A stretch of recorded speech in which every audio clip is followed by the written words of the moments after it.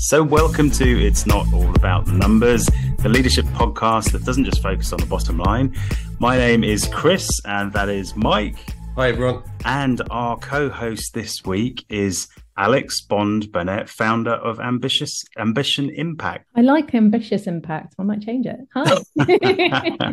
yeah, and I'm tripping over your name. Uh, you know, thanks for the tip of uh, going for Alex rather than Ale- Alexandra um, and I, for some reason, I, I think of uh, French when I say Bond Burnett. I, is, is it bonbon bonbonette? It should. So, it sounds like it should be, shouldn't it? Bond Burnett. Yeah. Bond Burnett. I like. Maybe said with a French accent. so, how's everybody's week been? Uh, obviously, a, a busy week in the world of of Chris Argent and Gen CFO. But Mike, come to you first. Can I just do this in my normal accent, or do you want me to do it in French. No, I'll, I'll stick in my French, normal accent. French or bumpkin um, is fine. It, it's been it's been a really good week actually. So obviously I was part of your the the uh, Gen CFO Academy fun, running a couple of sessions and launching this podcast, which was which was great. I spent quite a lot of time recharging with some Xbox with my son this week because the weather's been awful. So it's been quite nice to sit down. Um, and I suppose the really key work thing for me, as well as the Gen CFO Academy, is launching uh, the data practices work I've been doing with the Open Data Institute, which got launched on Tuesday, to uh, quite quite positive response. So I'm quite happy with that. Yeah, good week. Uh, it sounds interesting. I never had you down as a gamer. I I don't think we've ever spoken about this. Well, well uh, kind of like I, I suppose 20 years ago, maybe. Now I play like two games and that's it. Wow. It's, okay. It, so I've got an Xbox to play one racing game and that's it because I just I think, have the time. I think it's going to happen. I think it's going to happen. My son's 10. You know, Alex, you were saying your son's six. I think at some point we're going to have to get involved. But how, how was your week? Yeah, yeah, pretty good. Pretty good. I just can't, I've, li- I've literally just come back from a, a speaking job. Um, so it's nice. It's nice to get out of the office. And my, my days can be really varied. I can either be traveling for like a week or two or then just be what i call grounded back in back in the office. This has been an office week but ended the day ended the week on a half an half an outing. And were you on a road show recently? Did i see that? Yeah i was on the acca road show uh, oh. which was great fun. So i went to bristol and um and i just I, I, was a speaker there and i did then a panel and then uh and then they invited me out to the um to follow them to london and I was the MC for the day at the Oxo Tower. So that was great fun. No one wants to hear about what I'm talking, what I've done this week because it's been all over social. But uh, I was running Gen CFO Academy for our online community. It it just blew up. It was fantastic. Uh, three days of content, and I think the biggest compliment I had was someone pings me um, via the community personally and just sort of said, and I read this out and I think I'm going to put it on the wall, but it was simply a learning and community building masterpiece exemplar. And I was just like, oh, I, I gonna honestly, it's been such a four or five years in the making, um, and I feel like uh, that that felt like I'd, I'd arrived when I read that one, which is fantastic. And on personal side, my, I actually, Mike, I was in your neck of the woods recently. Uh, I went down to see my uncle down in Dorchester, who's uh, who's a bit of an innovator himself, but more on the medical side. Uh, and uh, he gave me a bit of a lecture about leadership, and uh, actually reminded me that he went to uni with uh, King Charles, which was which I completely forgot. I did know that when I was a kid because it was on the wall but um, but yeah, I've got, a, I've, I've got a quick question for you, Chris. So mm. obviously the academy's been this week, and it's mm. been you had three full on days of of stuff, and it was great. What did you do in the evenings to chill out, to kind of get yourself back for the next day? Because I always find those kind of days really exhausting. And I suppose, yeah, what what, what did you do? It's a great shout, actually. Um, so we were all working. You know, this is a peek under the bonnet you know we're all celebratory and publicly it was fantastic. Um, and behind the scenes it was fantastic as well. But we were doing you know 12 14 hour days um, and then having to host and sort of be on it you know and publicly be on it. And you know alex i know that you present a lot as well you know that that sort of public face and private face you know you have to sort of switch on and off. So i um unlike me i was actually quiet at home You know, I basically just just didn't do much. I was silent. Uh, didn't really want to watch TV in the normal way. Uh, I think I took a quiet quiet bath and tried to avoid bedtime. um, so, but yeah, it's a really good point because you do have to recharge your batteries in between these, um, you know, these public moments. You know, Alex, any tips for that? How how how do you go about it when you're on stage?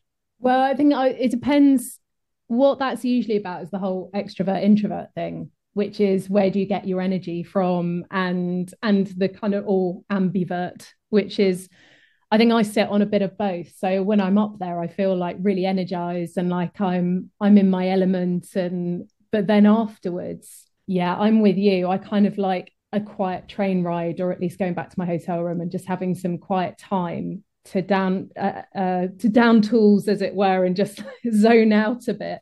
Um, and and weirdly the pandemic really impacted me in that way. So it was like massive i'd be out all the time loving it going up on stage presenting doing a lot of that. I do a lot of um, i'm a trainer obviously i do coaching and training so i do a lot of facilitation work as well which is very much like you're performing anyway. And and that would energize me. Um, and of course i was kind of locked away in this in this room with my with my laptop. And although you're talking to people um, i found that then when we got back out there i think it was like the first Accountex that came back on after the pandemic i was exhausted absolutely drained. I actually booked in my day like i'd done my talks and then i had and then of course you got the parties afterwards but i actually had, went back to my hotel room and had a little nap. Had, a, had a light or i say a nap i lay there and just stared at the ceiling i think for a bit before to get the energy recharge, get the energy to go back out again, and then uh, and then go again the next day. And uh, so I think the only thing to say is really listen to where your energy is, and if you're someone that does need to recharge, make sure you're actually booking that in so you can show up again. Not yeah. drain yourself out. Yeah, power nap, yeah. disco nap, whatever you want to call it. You know, it seems it it, it certainly works. So ju- just moving on to uh, what's going on in the world this week. Um, hopefully you can hear this, but this kind of summed it up for me. AI, AI, AI, AI, generative AI, generative AI, generative AI, AI is AI, AI, AI, AI, AI, AI, AI, AI, AI, AI. It uses AI to bring AI, AI, AI, AI, AI. Got the message? Yeah. Was it about AI? AI. it was. that was the week, right? Because uh, and not it was publicly uh, it was all about AI. You know, my the academy was all about sort of Gen AI and technology. But I think that sort of summed it up this week. It was.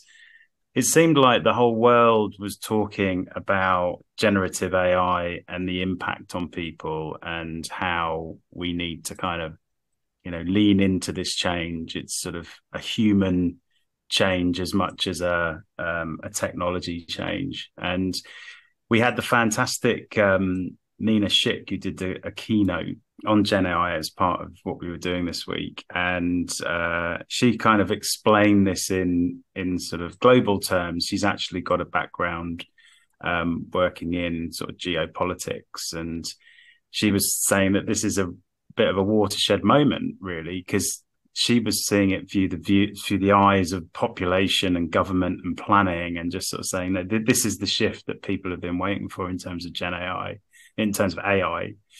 Um, and then we had uh, a guy from the director of AI from IBM talking about what's kind of happening under the bonnet and there's a sort of an economy and a land grab for this technology as well was sort of how important it is and it's it feels a little bit like you know social media happening all over again. You know, people are trying to get ahead of this technology and, and control it and make their millions. You know, Mike, you've been part of the ODI conference. What was that like? Well, so, so the o, the ODI conference was very much about AI and the intersection between um, AI and, and data, as you can imagine. The the interesting reflection that I heard from somebody at, at, at that conference was you obviously had the AI summit the week, week before in Bletchley Park, where um, Rishi was interviewing Elon Musk, and there were other good things going on as well as that. Um, yeah. But nobody apparently in that conference was talking about the data that underpins the generative AI and where the information's coming and how how the uh, messages come through. So one of one of the things that was really strong in the ODI conference was about um, without data, there is no AI. You have to have the data to train the AI. And actually, to have good AI and trustworthy AI, you have to have good data and trustworthy data. And that that was a really strong message that came that came out out from um, from the from that conference for me. And I think it, it it's just really interesting how we've almost gone to that black box model of AI now. It's almost like it's there, it, it, just works. And actually, we're not really looking at its impact and what it does and how it makes us think. Alex, what's your take on this? You know, it's uh, it's very much part of the the accounting and finance debate at the moment. If you were on a roadshow with uh, a mm-hmm. bunch of accountants, was is this being talked about much? Oh yeah, I mean, I think it's still as with anything, and especially when we when we're talking about data and and how how clean your data is and everything like that it always relies on humans to do it. Um, so a lot of the conversation is always about, well, you know, it's a, it's a bit like the whole thing about how good your bookkeeping and uh, in terms of your reporting and your forecasting. Um, AI and generative AI is only trained on us. So it's going to have human flaws. And I think that is what the conversation is, is are we prepared um, for the I suppose that com- it's actually a compliance question in a sense, as if we're using generative AI, who is going to check it and yeah. who is going to uh, look at it and be creative with it, and what input is going into it, and who is influencing that input. It's a, it's a it's a great point actually. I think a lot of people are sort of assuming that whatever is coming out of a Gen AI prompt tool, whatever it is, it's fact and and we had and people take it as fact and then they run with it and then actually they need to remember actually maybe i should validate this a little bit or fact check this you know and, and what about the data underneath? And you know before we've talked about this in the past Mike you know performance of algorithms vary. So it's not like it's always right. Um, it's actually it's always wrong but how wrong is it? I love it. And I, I think there's there's a lot of philosophical debate around this at the moment right? It's not just uh, let's use the technology and on we go. We've even had the tech leaders.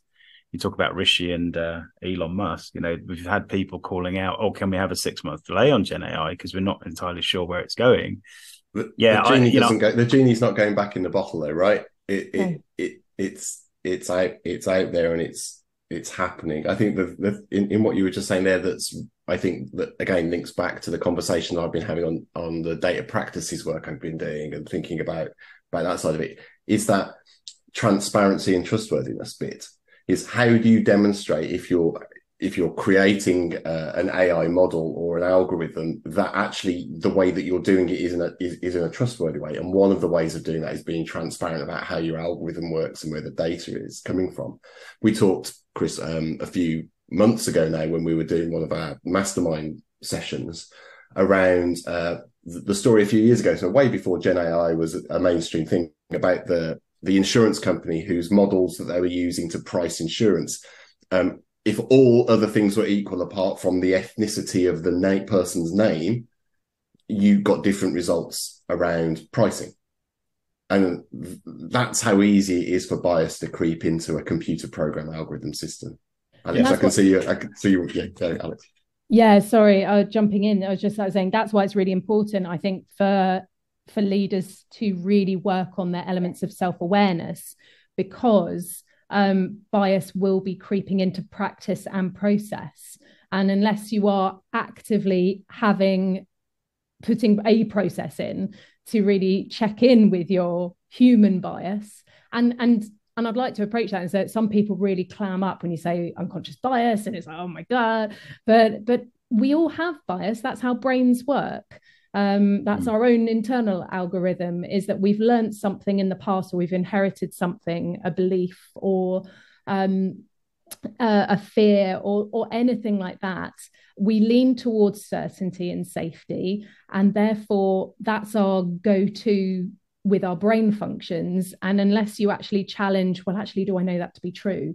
Um, you know then then it's it's like well that's it's like going somewhere. If you're going to i don't know the hospital or the shopping mall or something like that and you go well the best route is this way um, because you've always done it that way then you won't ever go well actually that's that's what my dad used to do or that's what the person before me used to do. Maybe can I just check that? Can I just, maybe I should just check that a new route hasn't opened up or somewhere didn't open up another lane or there's a faster or better way of doing that.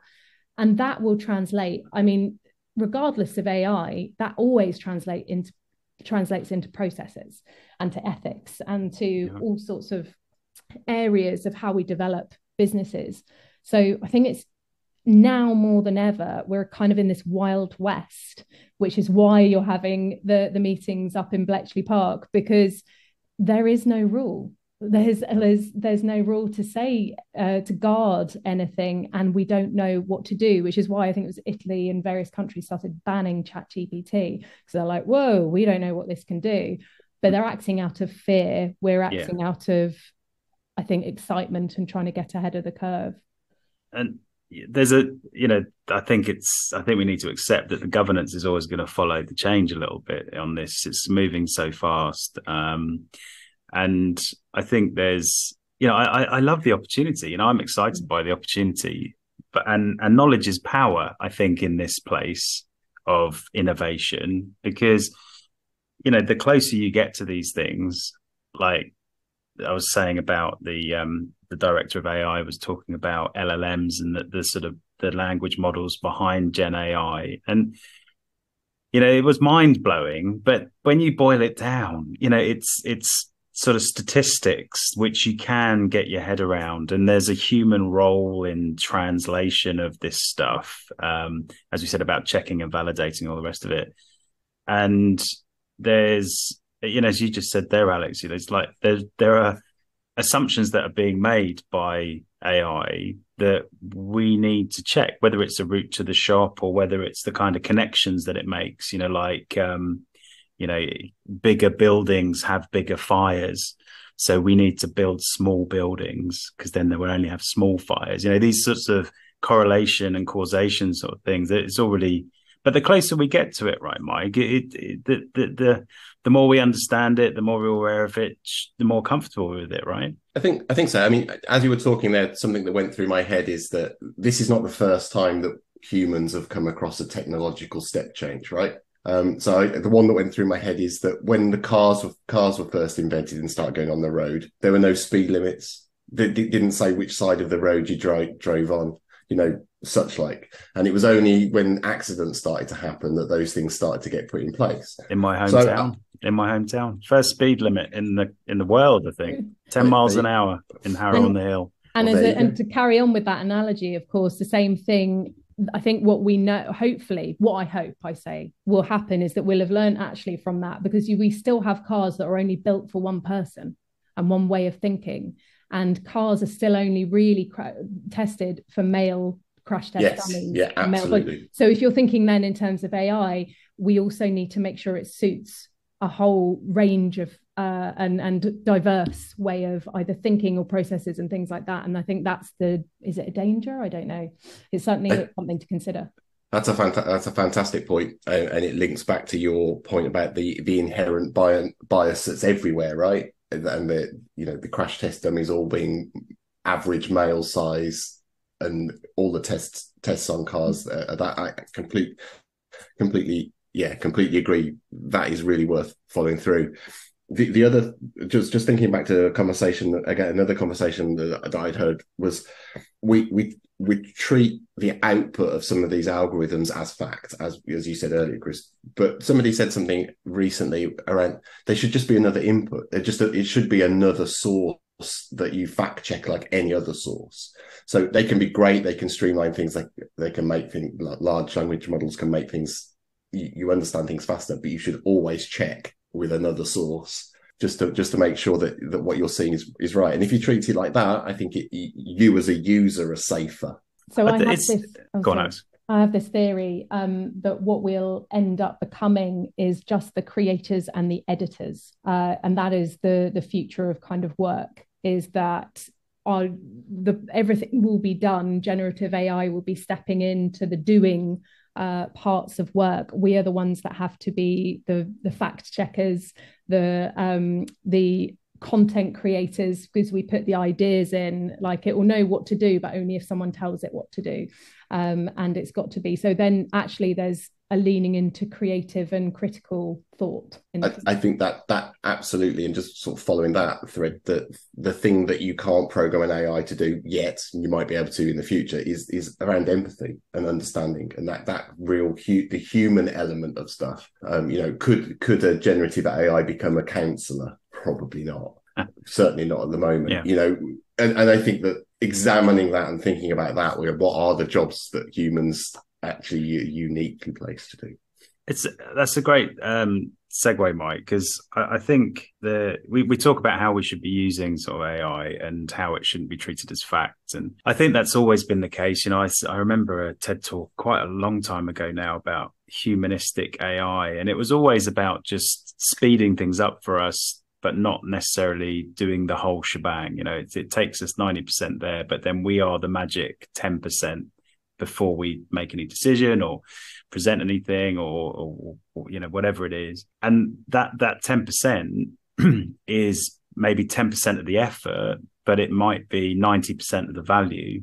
Right. So, and that's the human intervention. That's our human context checking, you know, our business acumen, our emotional intelligence, you know, the qualities that we have as as humans. Um, and you know, Alex, you work in this in, industry, like in a in a Gen AI world, right? The humans in the middle of this still. So what what is it that they're bringing? Do you know? Um, have you have you come across Rory Sutherland from Ogilvy at all? Uh, I know Ogilvy, but no, not Rory. He's uh, he's got a great TEDx talk and a book called Alchemy, and now he's the chairman of Ogilvy. He's uh, worked a lot on their creative and and things like that. And and actually, advertising is a brilliant uh, industry to learn from because it is about de- data, but also com- connecting to humans and influencing humans.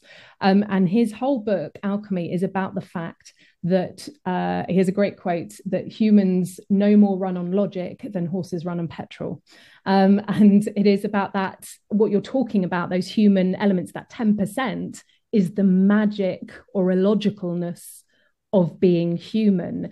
And that is the fact that no matter where you go and what you do, you're going to have to deal with a human and you're going to have to deal with their emotions and their motivations and their values. And uh, and as much as you know, in a sense, it'd be great, wouldn't it, that we just set something off and it works and it runs. Yeah. Um, humans need to be uh, connected with and, and we, we can yeah. see that playing out already, right? I, I, hadn't thought about the advertising industry, but there's been a lot of talk about Gen AI taking creative jobs, you know, immediately, marketing, copywriting jobs immediately.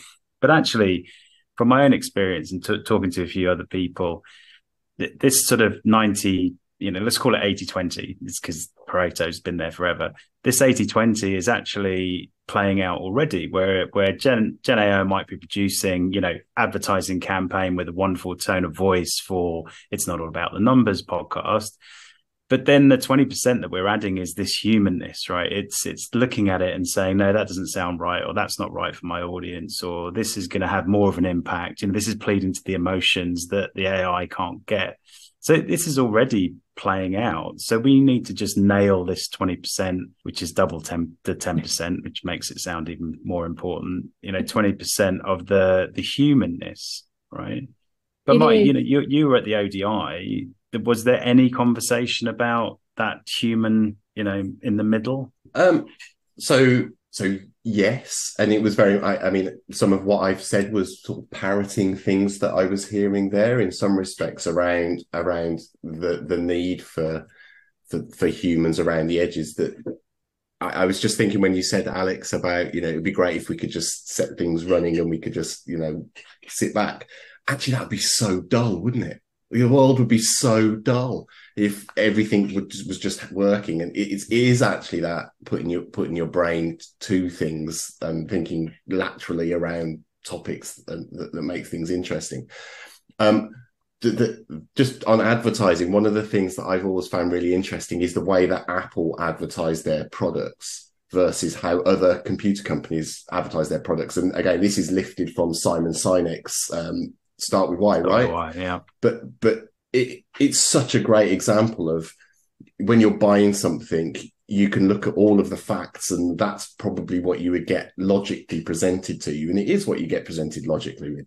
But actually it doesn't touch you. Doesn't necessarily and that's the, the apple approach is you know touch the humanness of you then you're more likely to buy it. And i think you know a, a really good illustration of, of, of what you're talk what we're talking about. They're talking there's a the theory of movie trailers um, in terms of how you influence people to do things or take on new ideas or interest them in an idea, um, for instance. And it's about having the perfect blend of familiarity and also intrigue um, and and un, I suppose the unfamiliar. And so you have to connect the two. So that's what Apple kind of have looked at. And it's really powerful how they look at how do we make this brand new, completely alien concept um, familiar and not terrifying. And I think any finance professional who has had to present to the board or present a new idea or ask about implementing a new technology who's gone, this seems completely alien to you.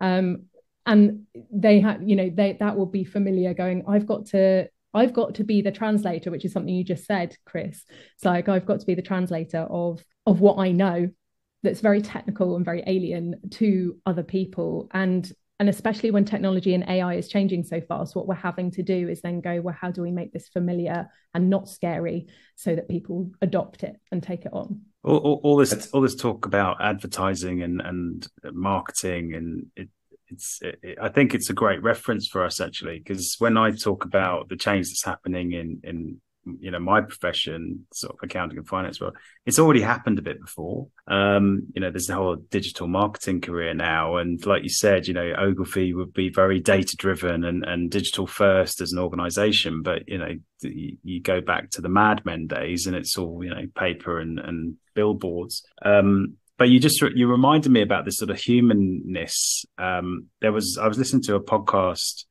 uh, called Nudge. Oh yeah, it's a, it's a, great it's a great podcast. And one of the there was a uh, sort of an award winning story writer there who was talking a little bit about communication and messaging and storytelling. And he was saying, look, if you go into Chat GPT or use Gen AI and say, look, write me a uh, an ad story for uh, XYZ, it it will reference all of the the sort of hero story that that you know which is there in abundance in everywhere. The sort of you know the the the rise of someone, then the decline, and then the the the coming back to this massive you know win at the end. But he said actually what what really makes good stories and adverts are characters. It's nothing to do with the plot, you know and he was arguing that that's almost almost an example of where creativity is a very human thing rather than and it's something that can't be recreated by say, say gen ai so he's almost arguing the case for the industry um, not going into the hands of, of gen ai um, because there's this alarming stat that you know 60 or 70 percent of online content will be generated by ai within you know the next five years. Um, but it's, it's just a just sparked off that that humanness that we all we all need to be focused on. Um, how you know and you're you're a communicator alex you know you uh, you know tell, tell us a bit more about your background because you know you have a quite a unique um, role and a unique sort of uh, background when it comes to communication. Do you know it's really fun. I've just so the talk i did earlier this morning was actually at a school and it was a careers thing. And we had someone who was a tech one of the lead tech guys at aws someone else who was at wpp um, which is the largest advertiser in the world, um, someone who's an investment, and then there was me, and they'd all, of course, done the usual A levels, university, gone into a you know a fruitful career, and um, so how I got into and my background, the reason why I go there, uh, I'm going there is because I stood up and went, yeah, I didn't do any of those things. Um, I was always very good at two things. Um, one was being analytical, and one was being creative, or uh, certainly curious. Um, creatively curious, I think maybe is a thing. So I was I was great at biology and maths, but also music and drama, and had no idea what that meant for me in my future. Um, and finally, I found it, which is that uh, I basically use those theatre skills, those communicative, th- those creative skills, those communication skills, and teach them to people in finance. So I have both worked in finance. I worked at GE Corporate. I uh, founded and ran and sold an accounting firm, and then uh, and that and now I work with teams and professionals on their communication skills and and as a coach. And so the way I approach it is both from psychology and also the fact that we're in theatre. So actually, I actually have a drama degree. I went to drama school, um, and uh, it, there it is about you spend three years learning not just how to present on stage and speak well, but if you are stood on a stage and you're playing a character, you've got to understand the emotions. You've got to understand motivation and plot and narrative and how to move stories forward and how to tell a story so much that it influences the audience and that when they leave you they have been changed in some way and then when i went back into kind of like corporate work i went oh that's what we're trying to do here in the meeting rooms as well mm-hmm. this is helpful um, yeah. and and i actually i worked at universities as well so i worked in education and training and so that's when i i branched out on my own um, and started my own business as uh, in terms of coaching and training um, people to be better communicators and use those human skills, as you were saying. So my background is slightly diverse, as, as, you can tell. I think I that that's that's that's brilliant. And what as you were saying, as you were going through that, I was thinking when when you when you're now looking back, it almost seems obvious, right? It, yeah. It's like I've got the, you know, I, I, did I did biology. I was good at biology. I was good at drama. I did these things, and I've ended up here. Look, it's magic. Um, what what were you, when was a, have you got a sliding doors moment where you suddenly realised actually that's I've got that path open to me, but actually this is the path. Do you know? I I'm wonder. I think it was a very slow sliding door of, of like it's easy to look back, isn't it, with hindsight yeah. and go, oh, of course. And actually, having spoken to these kids earlier today, I was saying if you have different strengths and you're trying to figure out, well, what what degree is it that I want to do? Is it psychology? I, I don't know. Is this a thing? And the truth was that really, uh, without sounding totally cheesy, I suppose a little bit ahead of my time is that the job didn't exist yet. Yeah. That I was going to, how could I possibly train for it? Like I even did coding. Like I went off uh, Thames University Valley University, you could go and do a module, modules and courses as part of their degree courses. So in the evenings, I'd go out and learn coding. I've used it in every single job I've ever had. And but that wasn't something that was taught when we were at school. So I think sure. following, yeah, now if I'd have known, oh, you can be an executive coach and you can actually train people to use theatre skills, but they don't know it's theatre skills to be better um, and make their companies better. And it's like, oh, you know, I think looking back, the only sliding doors moment is actually more of a business sense, which is, I think, having going, what skills do you have and how are they valuable to someone else? So it was about the fact that I go, okay, what skills do I have? okay, I know how to do that. How is that valuable here? Oh, okay, that's really valuable teaching someone, uh, you know, to be a better presenter, to be, um, to have a strategy, to be more influential, to pitch for investment, to do mm. any of those kind of things. Um, it's like, oh, they don't know how to do that. That would be really useful. So I think, like any business, uh, you end up going, what do I know, and how is that useful for someone else? That's that's that's fascinating. I, I think that one of the things that you know, my my two sons, one's 15 just doing his GCSEs, one's 18 just doing his A levels, right? And they're they're deciding on their paths.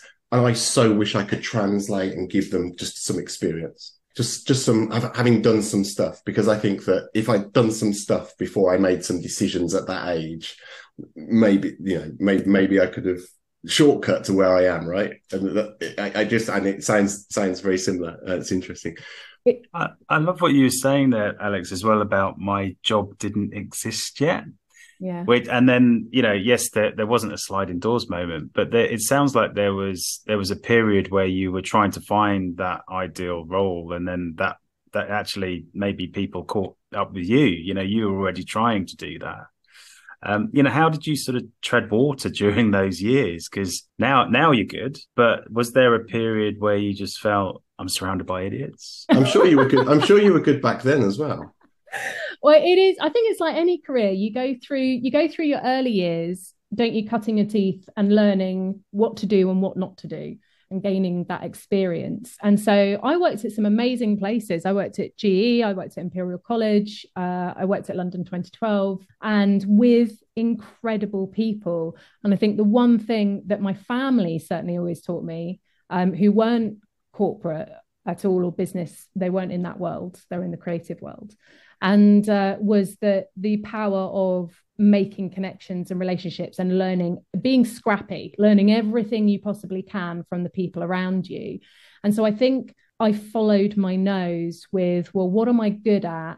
And until so the reason why I started my own business was that I had I was the head of education uh, at a at a training company and then I I was kind of like after a few years it's like there's there's there was literally nowhere to go there was nowhere for me to progress that I was directly below the CEO and uh, I was like, well, what else do I do? I either go work for another company, and I could that could that was an option. I could have worked in training in another company, or I can build my own business. And that's kind of sounds. I'm. I was just turning thirty. I was just about to get married. And I thought, and I was just about to graduate as well.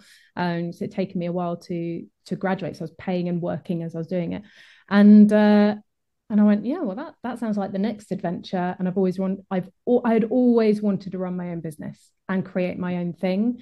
And I had a very clear picture of what everything could look like. Um, so, and and you know what, kids today, part of what really surprised me is I don't think I think like business sense in kids today is a lot more prevalent um, so I think anyone, and so like thinking about your son or anyone like looking at their careers and the jobs that don't exist now, I think that's what we actually have to prepare them for, yeah.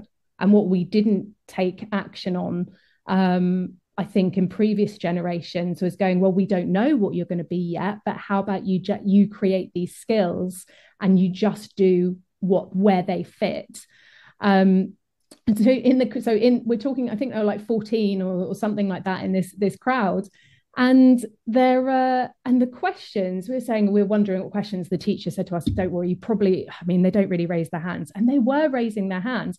One of them actually said you know well what should i be investing in? And, and, one question which what really crypto exchange? Yeah, yeah. exactly. Yeah. and then uh, and then one of them was actually he put his hand up this little kid and he said so and he asked the aws guy um, because he was sharing some really uh, slightly terrifying but fascinating things about technology and actually how old some technologies are that we don't know about. Mm. And uh, and he said, "Will will AI be taking over my job?" and I thought, God, I've been hearing that all year. Um, yeah. So, and this is a little kid that's uh, or teenager that's saying it. Um, so, it, and then that was the conversation. Well, what are you strong at? Work on that. Yeah. Well, we've got to uh, we've got to keep an eye on um, you know the talent that's coming into the workforce for sure. And I, I do think there's going to be a wholesale change in how we train people, how we support them.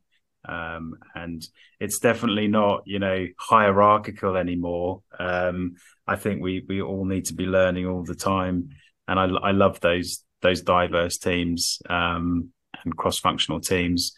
Back in those transformational days, I'm con- conscious of time, so I'm going to just um, have a little uh, chat about a question that came in. Um, and if you are interested in asking any questions, then you can um, email us at podcast at generationcfo.com, who produces this, or reach out to Mike and myself uh, directly on LinkedIn. Um, and we had a question come in this week from Sam, who is a manager uh, of analytics and management information and he was sort of ask there's a lot going on in his world of data management right but i think the the, the final question was the really um, sweet question that he was looking up for an answer to which was how does the IT business relationship work in your organizations with regards to data? And I'd probably break those two things down. It's like, how do two teams how does that relationship work in any big organization? How do they come together and communicate and collaborate? And then there is this sort of subject area around data and where should it sit? So mike i'll, I'll, I'll come to you first. Um, you know you, you, data management and and you know you work on a lot of data projects. How do, how first of all how do you see that sort of business and IT relationship working in big organizations? And Uh, where does data normally fit in? Well, that's a big question, right? Um, so I think well, that's that's why Sam's asked it. Yeah, yeah, no. So, so my my my experience is in di- different organisations, it's different. But usually, what happens is data is seen as a thing that get happens over there. IT is seen as a thing that happens over there, and it's a it's almost like a service that's provided in, and we'll let let the geeks go over there and do their thing. And actually, that's usually when problems start because everybody uses data all of the time everybody uses technology in IT all of the time. And actually, the key bit is the translator. Back to the translator conversation we are having a bit earlier. The key bit is that translator bit to make sure that the business, so the people in the business, can communicate with the data experts, and the data experts can communicate with the people in the business so they understand what each other are asking and are trying to do. And it's similar with the IT function. I think that one of the problems that I've seen else, you know, in, in places is data gets put under IT, and IT, you know, IT investments are usually on like a five year horizon. So you invest in something and it will last for about five years, and after five years, you need to replace it. The problem is data runs through that and carries on and on and on and on and on. So people don't see the investment in data in the same way as they see investment in IT. So for me, it's about it, to, to, come back to what we've been talking about today. It's it's about how do you humanize that? How do you m- get this kind of conversation happening so people understand what their requirements are? Um, the short answer to all of that whole thing was it usually doesn't work very well. yeah, I'll, I'll just wade in on the data side, and Alex, maybe you can sort of come in on the relationship side of things in corporates, but I don't think it matters too much when it comes to data. I, I, I think you know data is a four letter word, right? Nobody wants to own it. You can arguably have process owners owning it because they own the process, therefore the quality of the data that's coming out of it could be process owner. It could be in our IT, it could be in the business itself. I think when we were talking to Dominique a couple of weeks ago, she was sort of saying around analytics being a bit of a pawn that moves from, you know, finance back to IT and then back again. It really doesn't matter as long as we're getting what we want from from data. Um, but I do think that there is a problem in that these conversations aren't being had very much, right? Because that it because that people aren't working together. Um, and you know, Alex, what would sort of be your advice around you know if there were two functions that really needed to have a strong positive relationship to nail something like data you know what what would be your sort of suggestions to the leadership there and the teams? I would i would almost not just look at the functions looking look at it because to be honest with you i've seen this happen with various functions in in different organizations where um, for instance, the audit team need to actually be talking to the sales team or the uh, and, and vice versa. It's usually what happens is you've got someone who is let's say more creative or um, you have someone is or you have a subject matter expert talking to another subject matter expert and the only thing is is that they are going well this is important to me um, and and I can't believe you can't appreciate how important this is to me, and I need to achieve this, and why aren't you doing what I want? And that's really actually the question: is how do you get everyone who is thinking what is important to them is important to them actually collaborating and working together? Um, I did. Uh, and, and and why I say it's not just to which departments, um, because this happens in so many places. I was brought in to work with um, natural capital, um, like there's uh, conferences and things like that. And we actually used improv as a way of getting all of the the people, the departments, to converse with each other and that's because again like the soil person is interested in soil the accounts person is interested in accounts the uh, the, the finance person uh, investor is, is, is is interested in the return. And you know the um, clean air quality person is is interested in that. And they're so laser focused which is fantastic and what you want in those people. But if they're not connecting with each other. And the, to be honest, the really quick answer to that is that all you need to do is to get them to step away from what's important to them and focus on the common ground and what's important to them equally.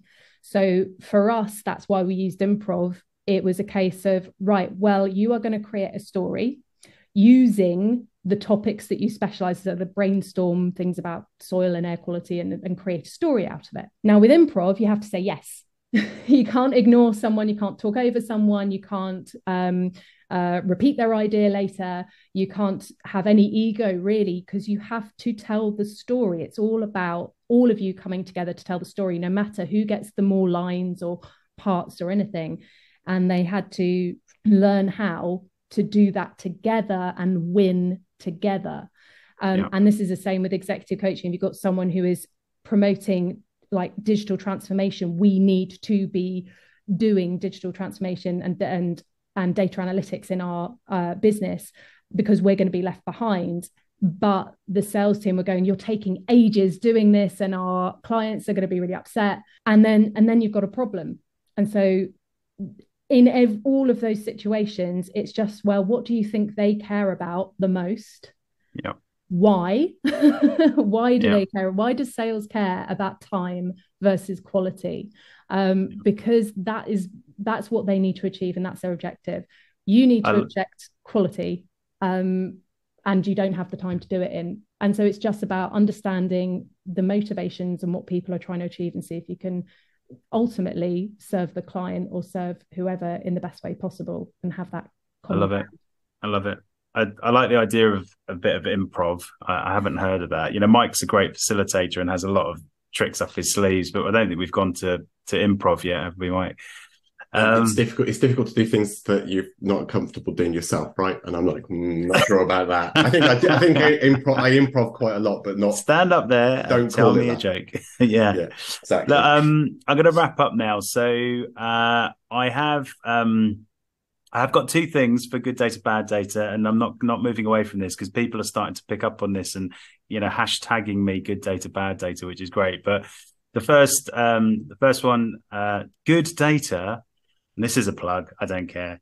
But Gen CFO Academy had uh, 1,200 regs, which is a whopping 40% growth year on year. Um, I I love that number. I love that data, and uh, may it continue.